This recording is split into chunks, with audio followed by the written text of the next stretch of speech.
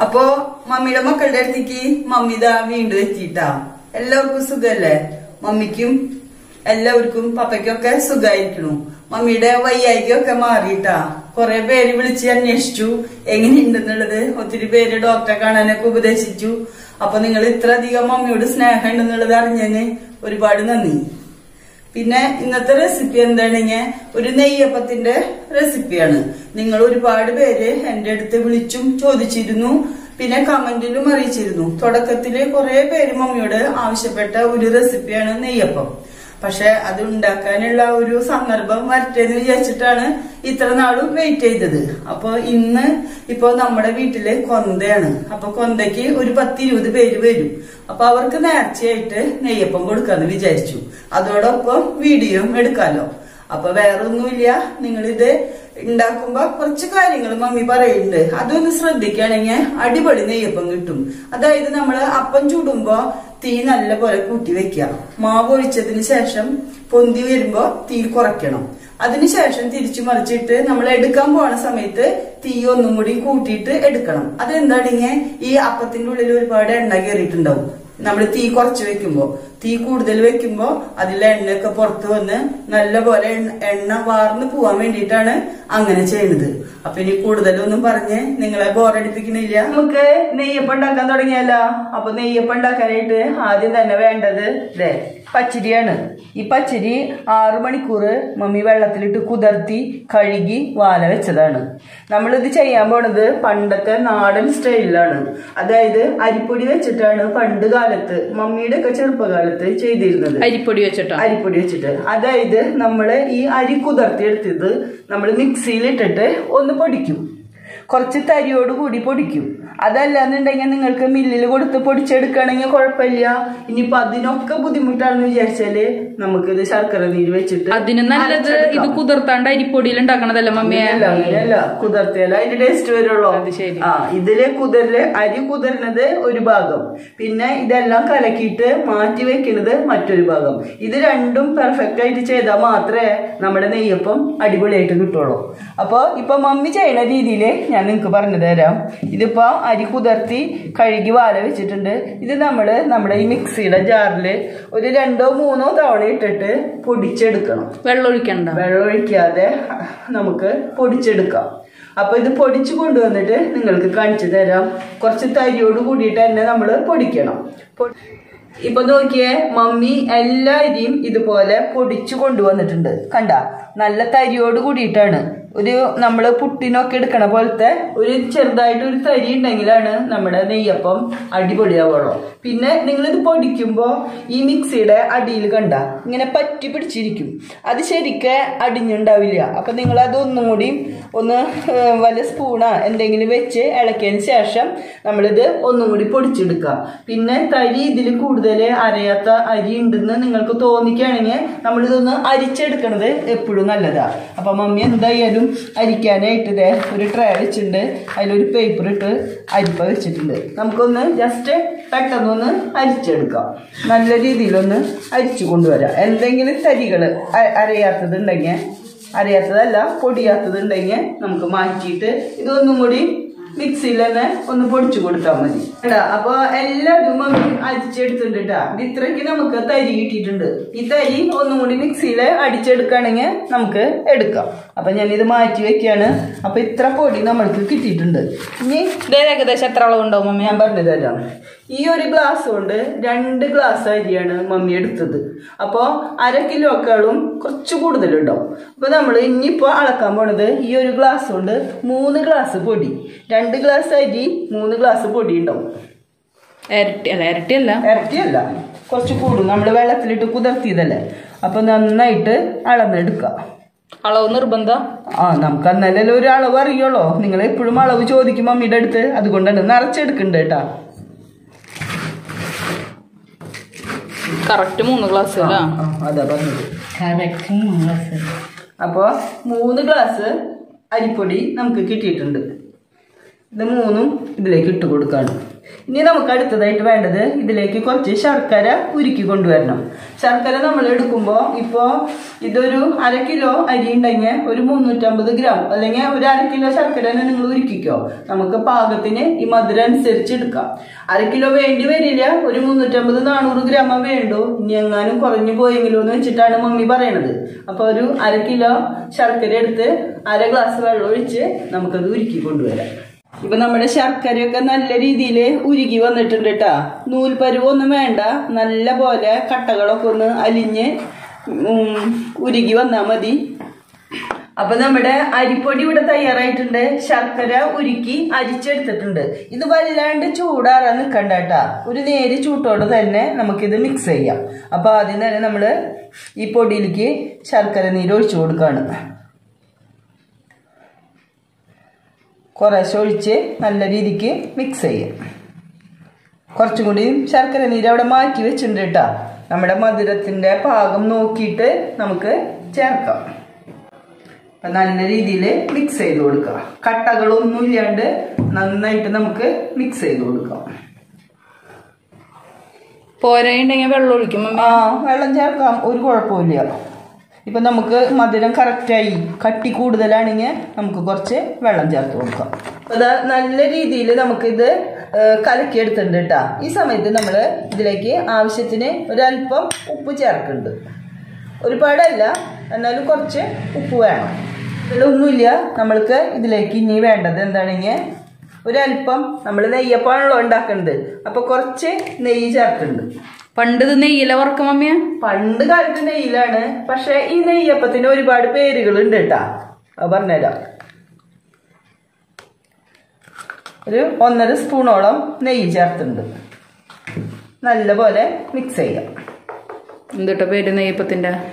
ഞങ്ങൾ ഇവിടെ തൃശ്ശൂർക്കാര് പറയാ വെളിച്ചെണ്ണപ്പന്ന് ആ അതതിനാണോ ഈ മമ്മി നെയ്യപ്പം നെയ്യപ്പം പറഞ്ഞിട്ടിരിക്കണേ. കുന്നംകുളം ഭാഗത്ത് പപ്പയൊക്കെ പറയാ ചക്കരപ്പന്ന പക്ഷെ ഒട്ടുവിധം മിക്ക ആളുകളും ഇതിനെ പറയാ നെയ്യപ്പം എന്നാ അപ്പൊ ഓരോ നാട്ടിലും ഓരോ രീതിയിലാണ് പറയാ. ഇനിയിപ്പോ ഇത്രയ്ക്കേ ഉള്ളോ? ഇത് നമ്മൾ എന്ത് ചെയ്യണം? ഒരു ചുരുങ്ങിയത് എട്ട് മണിക്കൂറെങ്കിലും നിങ്ങൾ ഇത് മാറ്റി വെക്കണം. എട്ട് മണിക്കൂർ കുതിർത്തിയിട്ട് മാവ് എട്ട് മണിക്കൂർ മാറ്റി വെക്കണം. ഇങ്ങനെ കലക്കിയതിന് ശേഷം എട്ട് മണിക്കൂർ വെച്ചാൽ മാത്രം തന്നെയാ നമുക്ക് അടിപൊളി നെയ്യപ്പായിട്ട് കിട്ടുള്ളൂ അപ്പൊ നിങ്ങൾ എന്താ ചെയ്യണമെങ്കിൽ നമുക്ക് തലേദിവസം രാത്രി കലക്കി വെച്ചാൽ നേരം വെളുക്കുമ്പോഴത്തേക്കും അടിപൊളി സെറ്റ് ആവും. അതല്ലെന്നുണ്ടെങ്കിൽ രാവിലെ തന്നെ തലേദിവസം അരി കുതിർത്തിയിട്ട് രാവിലെ പൊടിച്ച് അല്ലെങ്കിൽ അരച്ച് ഇതിപ്പോ ശർക്കര നീര് വെച്ചിട്ട് അരച്ചിട്ട് എടുത്താലും കുഴപ്പമൊന്നുമില്ല കേട്ടാ. മമ്മി ഇത് പണ്ടത്തെ രീതിയിൽ കാണിച്ചു എന്ന് മാത്രം. അപ്പൊ ഇത്രയ്ക്കുള്ളോ ഇത് നമ്മൾ ഒരു എട്ട് മണിക്കൂർ മാറ്റി വെക്കുകയാണ് നമ്മൾ അപ്പം ഉണ്ടാക്കുന്നതിന് തൊട്ട് മുൻപായിട്ട് കുറച്ച് പഞ്ചസാര കുറച്ച് ഏലക്കായ കുറച്ച് ചെറിയ ജീരകം. ഇതും കൂടെ പൊടിച്ച് അപ്പ ചേർക്കണോളൂ? ഇപ്പം ചേർത്ത് വെക്കണില്ല. അപ്പോഴേ ചേർക്കണോളൂ. അപ്പോൾ ഇത് നമുക്ക് പൊടിച്ചു കൊണ്ടുവരണം. ഇത് ഇത് പൊടിച്ച പൊടിയാണ് മമ്മേ? ആ ഇത് ഞാൻ പൊടിച്ച പൊടിയാണ്. അതിപ്പോൾ ഇവർക്ക് കാണാൻ വേണ്ടിയിട്ട് എടുത്തു വെച്ചു മാത്രം.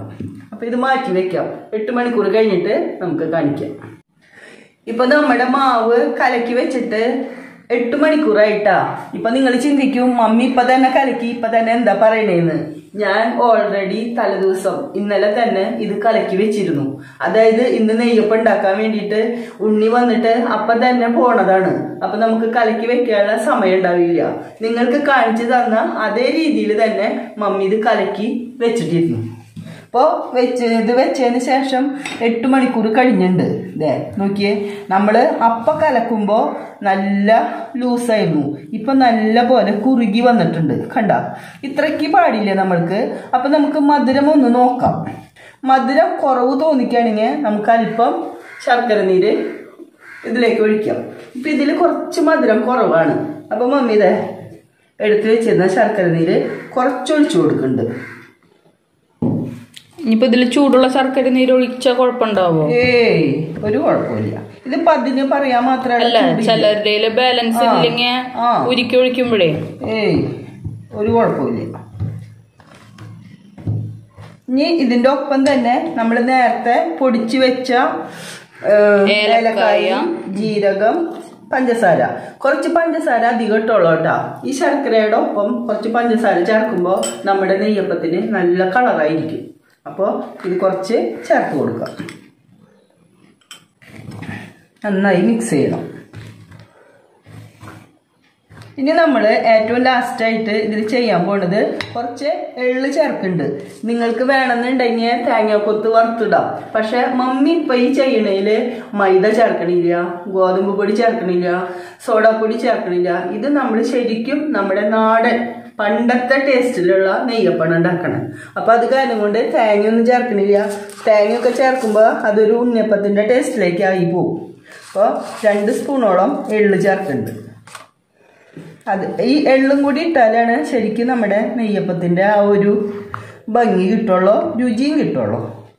അപ്പം നമുക്ക് പെട്ടെന്ന് തന്നെ നെയ്യപ്പം ചുട്ടെടുക്കാട്ടാ ദേ മമ്മി ചട്ടി വെച്ചിട്ടുണ്ട്. ചട്ടിയിലേക്ക് വെളിച്ചെണ്ണ ഒഴിച്ചിട്ടുണ്ട്. വെളിച്ചെണ്ണയിൽ ഉണ്ടാക്കായിരിക്കും. നല്ല നാടൻ രുചി കിട്ടുക. ഇനിയിപ്പോ നിങ്ങൾക്ക് ഏതോ ഇല്ല കുക്ക് ചെയ്യണമെങ്കിൽ അതുകൊണ്ടൊരു കുഴപ്പമൊന്നുമില്ല. അപ്പൊ അതെ നോക്കിയേ നമ്മുടെ മാവ് നല്ല ദോശമാവിന്റെ അയവിൽ കലക്കിയെടുത്തിട്ടുണ്ട്.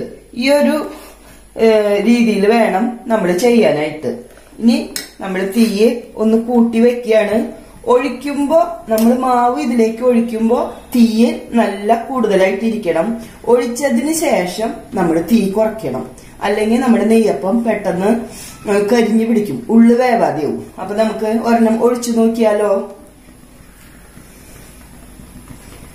ഒഴിക്കണ സമയത്ത് എണ്ണയ്ക്ക് നല്ല ചൂടുണ്ടായിരിക്കണം.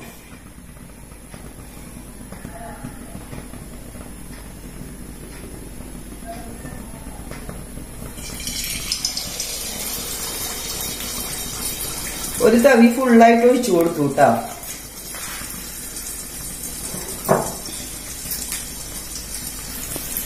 നല്ല രീതിയിൽ പൊന്തി വരുന്നുണ്ട്. ഈ സമയത്തൊന്നും നമ്മൾ ഇതിനെ തൊടാൻ നിൽക്കണ്ട. ഇത് നല്ല പോലെ പൊന്തി വന്നതിന് ശേഷം മറുവശം ഒരുവിധം വെന്തതിന് ശേഷം മാത്രമേ നമ്മൾ തിരിച്ചിടാൻ പാടുള്ളൂ. അതല്ലാന്നുണ്ടെങ്കിൽ പെട്ടെന്ന് തന്നെ മറിച്ച് കഴിഞ്ഞാൽ ഈ പൊന്തി വന്നത് അമുങ്ങിപ്പോവും അപ്പൊ ഇനി നമ്മൾ തീ കുറയ്ക്കണം. വേണമെന്നുണ്ടെങ്കിൽ കുറച്ച് എണ്ണ നിങ്ങൾക്ക് ഇതിന്റെ മുകളിലേക്ക് ഇങ്ങനെ ആക്കി കൊടുക്കാട്ടോ. നല്ല രീതിയിൽ നമുക്ക് പൊന്തി കിട്ടോളൂ കിട്ടിക്കോളൂ.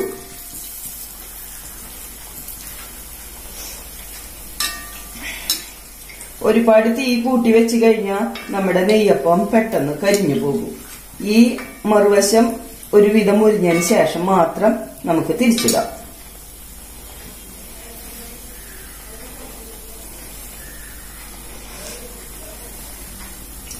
ഒന്ന് തിരിച്ചിട്ട് നോക്കാട്ടാ. കണ്ട? നല്ല ഭംഗിയിൽ വന്നിട്ടുണ്ട്. ഇനി രണ്ട് സൈഡും തിരിച്ചും മറിച്ചും ഇട്ട് നമുക്ക് മൊരിച്ചെടുക്കാം. ഇപ്പൊ അതാ നോക്കിയേ അത്യാവശ്യം നമ്മുടെ നെയ്യപ്പം മുരിഞ്ഞ് കിട്ടിയിട്ടുണ്ട് കേട്ടാ രണ്ട് പുറവും ഈ ലെവലിൽ കിട്ടിയിട്ടുണ്ട്. ഇനി കൂടുതൽ ഡാർക്ക് കളർ ആവാൻ നിക്കണ്ട. എന്താണെങ്കിൽ ഇത് എടുത്ത് എടുത്ത് വെച്ചതിന് ശേഷം ഒന്ന് ഇരുന്നൊന്ന് മുരിയും. അപ്പൊ നമ്മൾ ഈ ഒരു കളറിൽ എടുക്കാണ്. ഇതൊന്ന് ഇരുന്ന് മൊരിയൂട്ടാ. ഒരു നെറ്റിലേക്ക് മാറ്റി കൊടുക്കാം ഇനി നമുക്ക് അതുപോലെ തന്നെ എല്ലാ നെയ്യപ്പവും ഇതേപോലെ ചുട്ടെടുക്കാം. നമ്മൾ ഇത് എടുത്തതിന് ശേഷം തീയൊന്ന് നിങ്ങൾ കൂട്ടി വെക്കണം. എന്നാലേ ഒഴിക്കുമ്പോ മാവ് ഒഴിക്കുമ്പോ എപ്പോഴും നല്ല ചൂടുണ്ടായിരിക്കണം. അതുപോലെ തന്നെ നിങ്ങൾ ഒഴിക്കണേക്കാൾ തൊട്ട് മുൻപ് ഇത് നന്നായിട്ടൊന്ന് മിക്സ് ചെയ്ത് ഇളക്കിയതിന് ശേഷം വേണം എടുക്കാനായിട്ട്. കണ്ട? ഈ ഒരു ലൂസ് ഉണ്ടായിരിക്കണം കേട്ടോ. എന്നാലേ നമ്മുടെ അപ്പം ഒഴിച്ച വഴിക്ക് പെട്ടെന്ന് പൊന്തി കിട്ടുള്ളൂ. നമുക്ക് ഒരെണ്ണം കൂടി ഒഴിക്കാം.